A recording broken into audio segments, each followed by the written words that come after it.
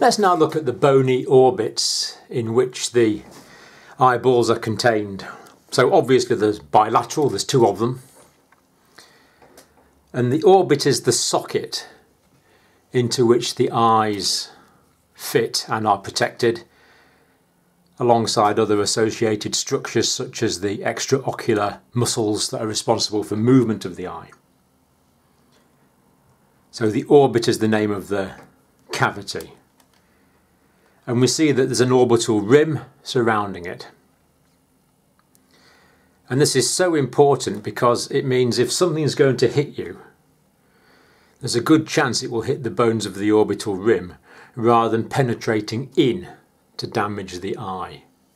So we do certainly see eye injuries in accident and emergency departments, but more often there's injuries to the orbital rim because the orbital rim is doing its job protecting the precious, delicate contents of the orbital cavity. So the eyeball sits in here, it's got a roof and it's got a floor on both sides. Now I'm just going to give you a very quick run through the bones. This is the frontal bone here in brown. The frontal bone. And this large facial bone in orange is the maxilla. The mandible, of course, is the jawbone. The front teeth are in the top teeth are in the maxilla. And the famous facial bone on the side, one of the characteristic, really characteristic human facial bones in purple is the zygomatic, forming this part of the rim. The zygomatic bone. Now, the sphenoid bone here is in red. The sphenoid bone. So if I can just point to the sphenoid bone, it's this one here. Just maybe zoom in on that a bit. So here we see the sphenoid bone, it's labelled 8 in this model. Of course, the same on both sides. The sphenoid bone. And this bone continues inside, in, in the cranial cavity. So this is the sphenoid bone here continued in this red colour. We see the frontal bone from the inside there as well, of course. And uh, This yellow bit is called the cribriform plate. It's part of the ethmoid bone. That's actually where the uh, nasal nerves enter. The first cranial nerve is the olfactory nerve, bringing nerves of uh, containing smell information from the nasal cavity into the into the brain. So up to the sphenoid there, you can see the sphenoid on the outside still in red here. But we see it inside the orbit there. Then the ethmoid bone is in yellow, which we see in here, labelled 9R on this model and the same on that side.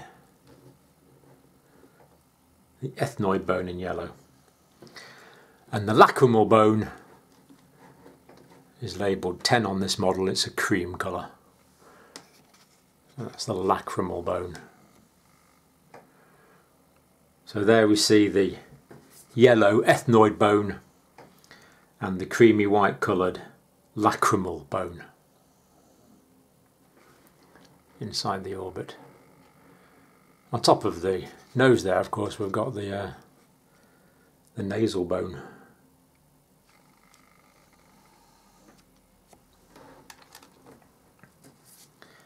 There's actually a um, little bit of a palatine bone at the back,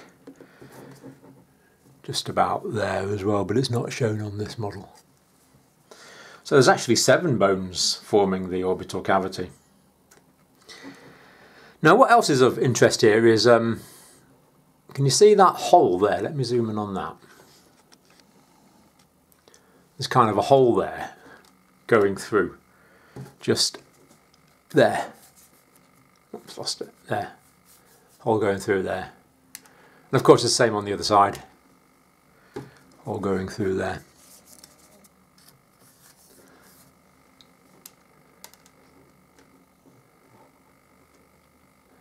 There we see it on both sides.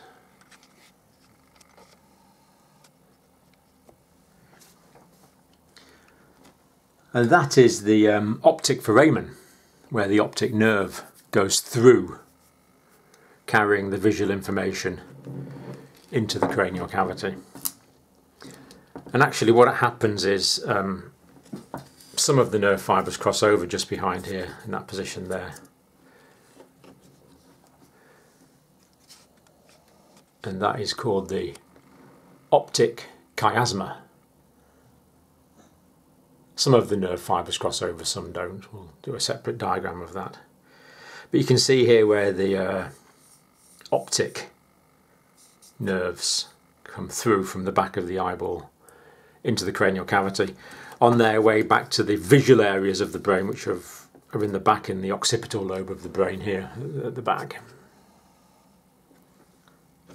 So their path has to run back like this this towards the occipital lobes of the brain, which is where the vision is actually interpreted, where the vision is generated.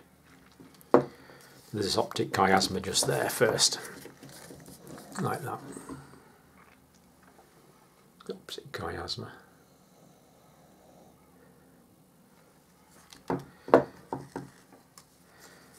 There's other things we could talk about. I mean, there's the um, these gaps here. I don't think you can see there. Uh, larger gap just there.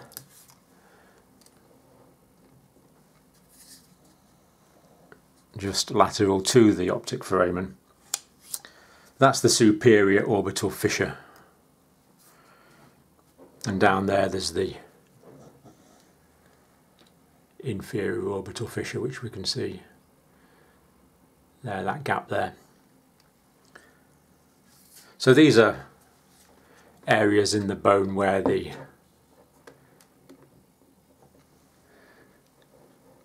and that gives us quite a clear view of the superior orbital fissure there we can see right through there that carries nerves and the superior ophthalmic vein and the inferior orbital fissure just here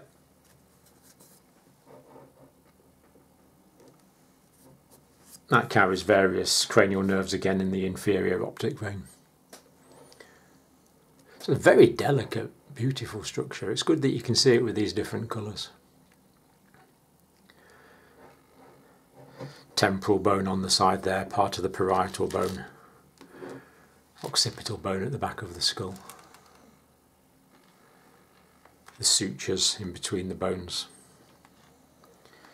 But that's just to give a, an impression of the orbital cavities in the skull, which is such a defining characteristic human feature.